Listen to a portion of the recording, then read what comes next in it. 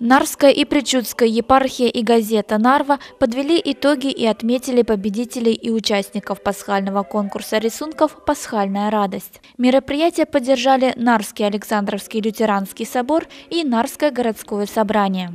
Чествование участников конкурса прошло в Нарском замке. С пасхальным приветствием «Христос воскресе» к собравшимся обратились руководитель социального отдела Нарской и Причудской епархии иеромонах Платон, настоятель Александровского собора Вилу Юрье и председатель городского собрания Александр Ефимов. Благодарю организаторов за то, что вот уже пятый раз организуют э, такой вот прекрасный конкурс. А, где так много участников. Я еще редко встречаются такие вот мероприятия, где э, такое количество детей принимает участие. Я благодарю вас, дети, за то, что вы рисовали такие прекрасные работы. Любое искусство, любое творчество, оно облагораживает. И я уверен, что рисуя вот, работу на такую тему, вы стали чище, добрее, мудрее и э, подарили большую радость нам лицезреть такие прекрасные работы. Ну и поздравляю победителей, тех, кто стали победителями в этом году. Всем желаю в будущем э, принимать также участие в этом конкурсе, стремиться к победе. Ну а организаторам я прошу их не прекращать вот эту славную традицию.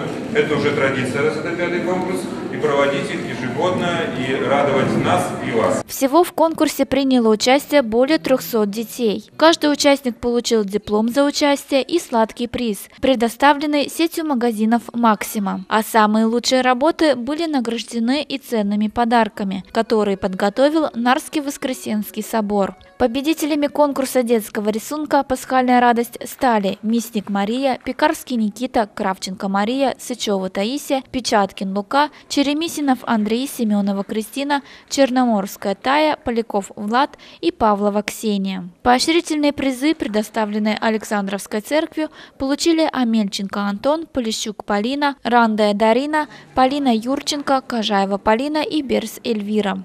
Мне как бы стало интересно, и я решила впервые раз попробовать поучаствовать в этом конкурсе.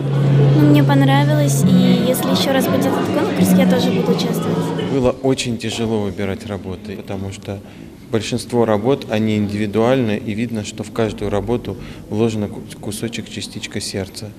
И это радует, потому что дети к этому отнеслись очень творчески. Руководитель социального отдела Нарской и Причудской епархии иеромонах Платон пожелал Божьей помощи всем, кто участвовал в этом проекте, и отметил, что такие мероприятия для детей нужно проводить чаще. Такие мероприятия очень важно проводить для детей, э, потому что они прививают детям не только э, традиции какие-то, но они насаждают в сердцах детей веру в Бога и посредством таких мероприятий, ведь ребенок не может, не зная исторического происхождения этого праздника, нарисовать что-то.